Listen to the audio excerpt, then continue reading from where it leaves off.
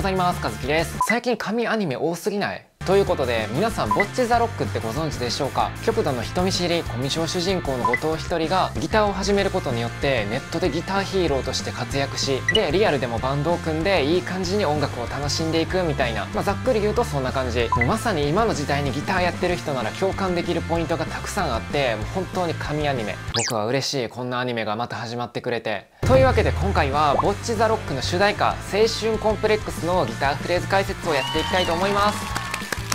で動画の最後にはボザロに出てくるギタリストなら絶対共感できるこだわりの描写をご紹介しますので是非最後まで見ていってください。それでは楽しんでいきましょう。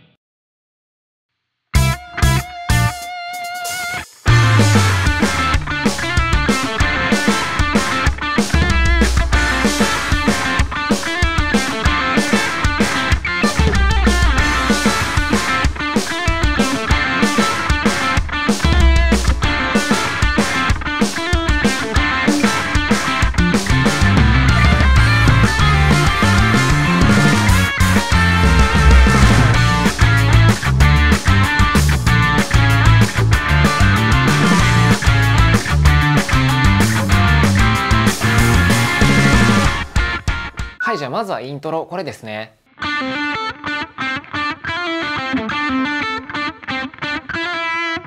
まあ、イントロは指を動かすとか無駄な音を鳴らさないっていうことはもちろんなんですけど何より一番大事なのはリズム。ピタッと合わないとかっこよくなくなるのでしっかりとリズムを意識して弾いていきましょう。でそのためには割とねピッキングの順番っていうのが大事ですね。まずはダウンが2回連続。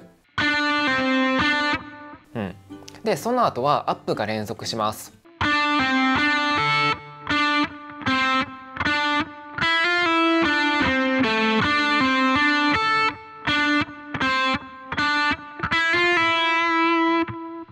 こういう感じでやるとピッキングが安定しますので是非ね真似して今のをやってみてください。であとは最後のこの部分。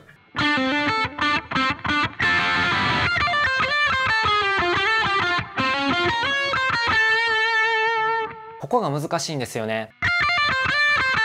めっちゃ速い3連符が入ってるんですけど一旦ねそこを無視して元のリズムっていうのを確認してみましょう、まあ、単純にしたリズムですね。それがこんな感じ。めっちゃシンプル。でこの間にハンマリングプリング。これで音を詰め込むっていうイメージですね。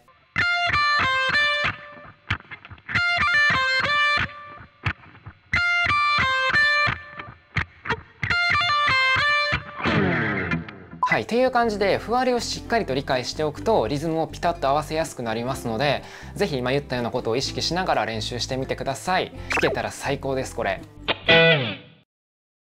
はいで次はね A メロ。ここはシンプルに疾走感がかっこいいとこですね。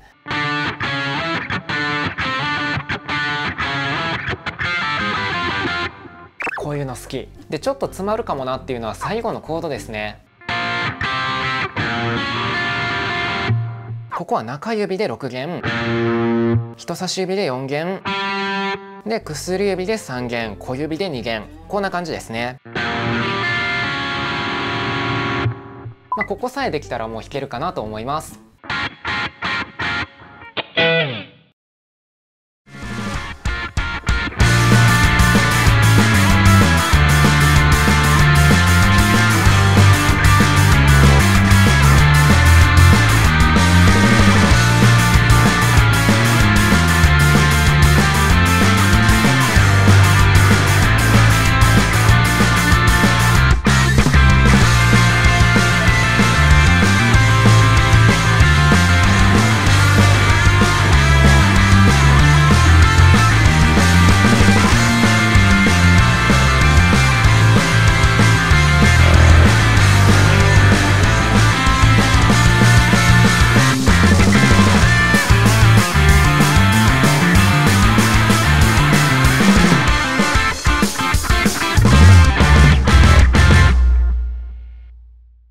ロから結構複雑なんでもうなかなかこれ以上フレーズ覚えらんないよっていう人もいるかもなんですけど、えー、本当にやばいのはサビです、まあ、実はサビが一番出てくるフレーズが多いんですよね。でそういうたくさんのフレーズを覚えなければいけないっていう時はフレーズを何小節かに分けながら覚えていくと結構覚えやすいんじゃないかなと思ってます。例えば今回のサビの部分で言うとまずはね最初の4小節。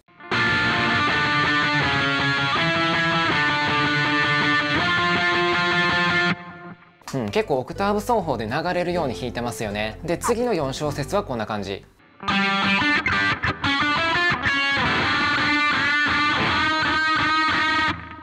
まあ、こういう感じで結構単音でかっこいいフレーズを弾くのがここですね。みたいな感じでだいたい4小節とか8小節で区切ってあげると切りよく覚えていけるかなと思います。でここまででサビが一回し終わった感じなのでそれをもう一回繰り返します。まあ、ちょっとフレーズはまた変わりますけどね。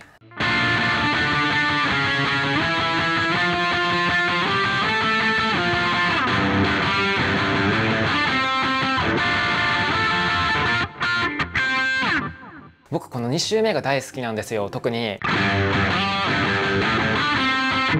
ここがやばいかっこいい、まあ、6弦を中指で押さえてあげて。でそれから薬指で4弦をこうスライドしながら。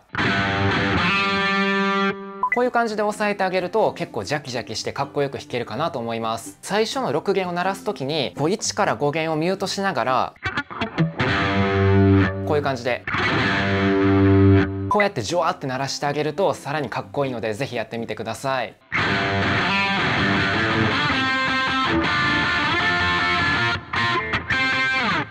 まあでも最初はめっちゃ覚えにくいと思うのでとにかく原曲を聴き込んでギターフレーズを覚えてあげる。もう自分で歌えるぐらいまで覚えてあげる。そうするのがね一番いいのかなと思います。なんならねこうサビがもう一回あるんですよこの曲。2連続でサビが来るみたいな。その時のギターフレーズもまた全然違うので頑張って覚えてください。アウトラソロっぽいのが出てきますけどそれもねそんな難しくないですね。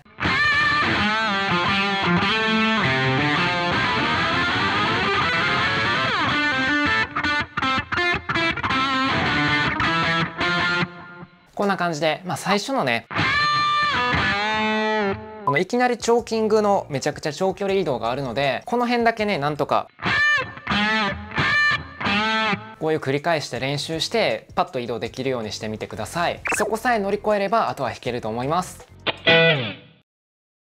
で解説は以上なんですけどこのアニメねめちゃくちゃギターの描写とかが細かくて例えばねオープニング映像のこういうところ。これギターを弾いてる指の形をよく見てもらったらこれ実際に演奏してる時の手元と全く一緒なんですよね。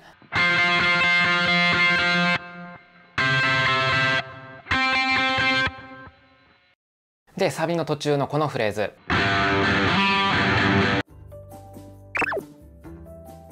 もすごくしっかり再現されてるんですよね。で他にもねアニメ本編では主人公はね一人でギター弾くのはめっちゃうまいけどバンドで人と合わせるとなるとなかなか呼吸が合わずに苦しんだりとかね。もうそういうギタリストあるあるがめちゃくちゃ詰まってますので本当にツボを押さえた神アニメぜひ皆さんも見てみてください。というわけで最後までご視聴ありがとうございました。このチャンネルではこんな感じでギターをもっと楽しくをコンセプトに活動しています。もしチャンネル登録がまだの人はぜひこちらもよろしくお願いします。それではまた次の動画でお会いしましょう。バイバイ。